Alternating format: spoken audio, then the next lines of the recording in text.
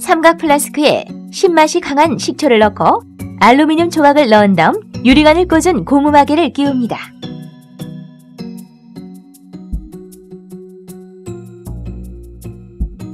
양쪽에 구멍이 뚫린 빈 달걀의 아래쪽 구멍을 유리관에 가져다 대고 한 손으로는 위쪽 구멍을 막아 수소를 모읍니다.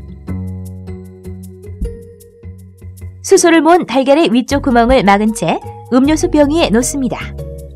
손가락을 떼자마자 달걀 구멍에 성냥불을 가져다 대고 뒤로 물러서서 어떤 현상이 일어나는지 관찰합니다.